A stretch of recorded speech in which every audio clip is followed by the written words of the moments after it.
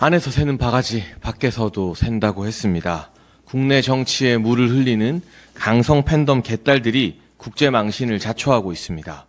라파엘 그로시 IAEA 사무총장의 SNS에 찾아가 입에 담기 힘든 욕설과 악플 테러를 가하는 중이라고 합니다. 이재명 대표는 개딸들이 세계사적 현상이라고 자랑했지만 세계사적 망신이 됐습니다. 이재명 대표는 개딸들의 폐악을 말리는 척 즐기지 말고 공식적으로 개딸 해체 선언을 하십시오.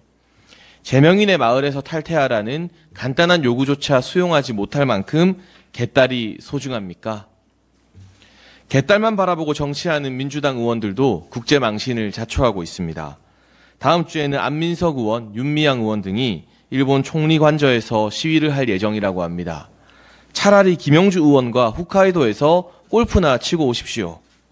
만약 사드 배치에 반대하는 중국 의원들이 우리 대통령실에서 시위를 하면 용납할 수 있겠습니까? 대한민국은 당당한 선진국입니다. 최소한의 상식과 global standard는 지키면서 정치다운 정치를 합시다.